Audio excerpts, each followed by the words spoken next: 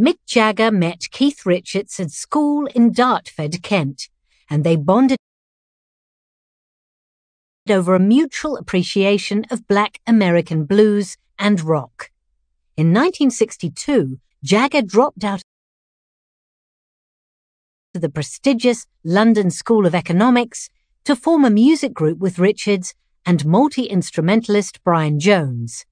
They decided on the name The Rolling Stones. The band gave their first performance on the 22nd of July 1962 at London venue Marquee International Jazz Club. They began with cover songs, but by the following year had developed their own music, sound, and style. The three settled in into a fixed lineup with bassist Bill Wyman and drummer Charlie Watts, and decided on an image that was the antithesis of that of the Beatles raunchy,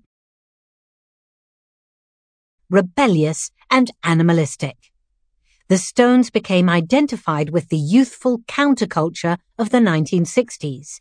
Well into the millennium, were giving the highest grossing concert tours of all time.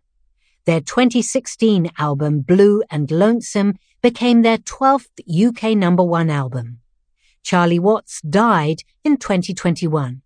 But near octogenarians Jagger and Richards, the veteran bad boys of British rock, continue to write, tour, and produce to this day. Don't miss this edition of Speak Up to find out more.